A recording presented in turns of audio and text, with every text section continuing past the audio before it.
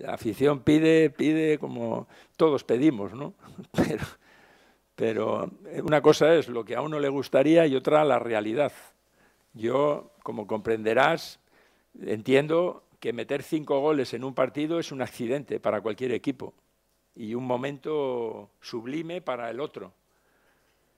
Y esto no es fácil de que se dé, y en un partido como este tampoco. Ahora sería, claro, estaríamos todos muy contentos. Pero yo no quiero rebajar la euforia, ni quiero rebajar el. Pero yo soy una persona fría también. Yo, cuando me dicen eso, siempre pienso, joder, y si me los meten a mí,